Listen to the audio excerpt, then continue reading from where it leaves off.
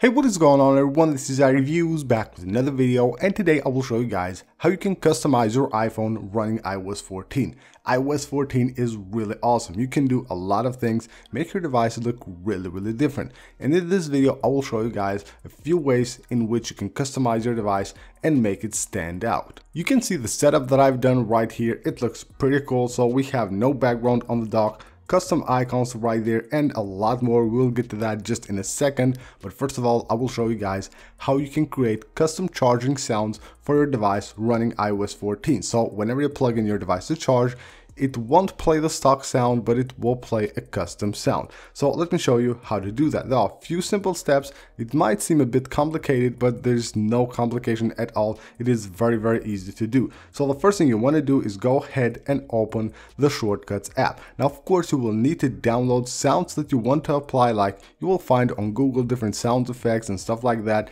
that you can use as the charging sound of course you download them. They are saved on the files app. So what you have to do is go ahead and create two different shortcuts. The first of them will be called encode. So go ahead tap the plus button and tap right here on add action. Right here search for get file. Once you search for get file here go ahead and tap on it this is the one right here with the purple icon. Tap on it and now you're good to go. Go ahead and tap right here and search for encode.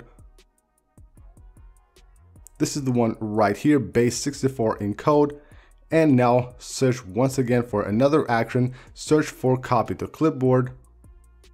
This is the one. So this is done right now. Tap on next go ahead and name this anything you want. You can name it encode. Now once you have that created, what you need to do is go ahead and create the second one. First of all, run this one and go ahead and choose the file that you want to apply as the charging sound. So here I have one, tap on it, we're good to go, tap the plus button to create the second one. Now we will call this play, so basically this will play the sound. First of all, go ahead, tap on add action and search for text add the text right here and go ahead and just click here to the clipboard, click paste. So you have copied the file with the first shortcut with the action that we ran. So we're good right now. Go ahead and tap the plus button and search for encode. Here we have the same base 64 encode tab here. And now once it's added, tap on encode and go ahead and switch to decode. Now what you need to do is add the last action. Just search for play sound this is the one right here, play sound. Click next. Let's rename this, let's call this play. Now once we have both of them created, what we need to do is create an automation. And this is where iOS 14 comes in hand. So we have the new automation for when we plug in our device to charge. So create personal automation, scroll down, go to charger, click next, and here on add action, search for run shortcut. So here we have a run shortcut. Now tap on shortcut there and choose play. Now what we need to do is tap next and here ask before running, make sure you have this disabled. Disable that, don't ask, click done, and now we're good to go. Whenever we plug our device to charge, we will get that charging sound though. Let's go ahead and try this out. So it should be working right now.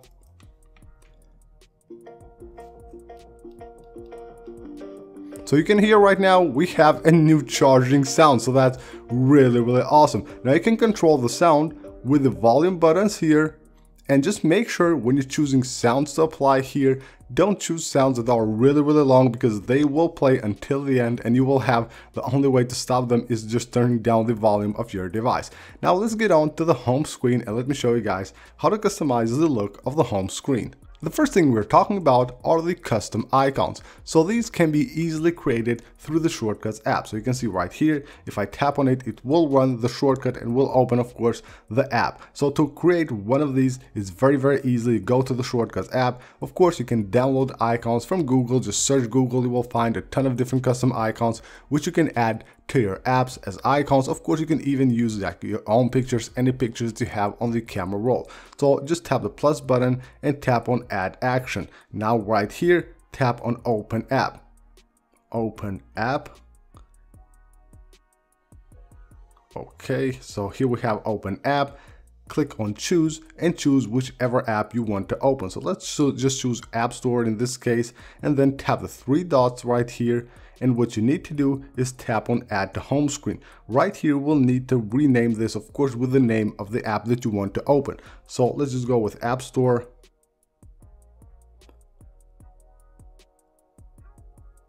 And now once you have done that, tap on that little icon and go ahead and choose a picture from the camera roll which you will set as the picture of this icon. Now once you have chosen the picture, you can see right here, you can go ahead and crop this, do anything you want, click choose, click add, and now name the shortcut right there, click the done button and you're good to go. Now you will have that shortcut on the home screen of your device. So you can see there we have the custom icon. Tap on it and it will of course open the app that you chose to open. So this is how you create custom icons. And you can see right here, I have two different widgets and right here, there's a blank space. They are actually empty icons, which I have put there which of course allow me to then put the apps right here on the on the lowest row of icon making it really really cool now let me show you guys how you can easily create these blank icons that will allow you to rearrange the icons and the widgets any way you like on your home screen now the first thing you want to do to create blank icons is go ahead and go to the edit mode. From here, just swipe up on the last page, the page that is blank like this, and go ahead and take a screenshot. Now once you have done that, you will need to go to Safari and open this web page which I will leave linked right down below in the description of the video. Tap on the upload button and upload that image, that screenshot that you just took. After you have done that, just tap on the send button and it will upload the file and now we're good to go. So here we have it. It has been uploaded and you can see the icons right here. So you can see the placement of the icons. Of course these are all white but if you have like another wallpaper that's not one color then you will have to be careful where you put the icons and you will have basically to disable the zoom of the wallpaper when you set the wallpaper. So let's just go ahead and try one here. Tap right there. Tap on add one icon and now all you have to do is just tap the share button and tap add to home screen, tap add, and this icon right here will be added to the home screen. So you can see there's the icon. And of course you can go ahead and place this anywhere you want and then just create, create a blank space allowing you to rearrange your icons any way you like. And now let me show you guys how you can remove the background from the dock here and this will also remove the background from the folders. Now you need to download some special wallpapers. Here's the website where you can do it from. I will leave it linked of course right down below in the description. So you have this dark mode and you have this white mode which I have applied right now to my device. So tap on all phones right there and it shows you here the instructions. So before applying this wallpaper you need to turn off zoom so when setting the wallpaper, just keep the zoom off. So here have the wallpapers, you tap on one of them and just go ahead and save it to your device and you're good to go. You apply to your device and you can see right now it will remove the dock background, which looks of course really, really cool and very, very clean. Now here I have this setup, it's all white and of course I have two white widgets here, weatherline and I have also color widgets. Now of course you can basically customize it with the way you like, with the colors you like, but I just did this one for this video. So this is how you can create custom icons, custom charging sound, remove the dock from the back the background from the dock and also create empty icons on your iOS 14 device. So I hope you guys enjoyed the video. Hopefully you will be able to create some really cool setups on your iPhone running iOS 14. That's pretty much it. All the links that you need will be found right down below in the description of the video. I will see you guys on the next one.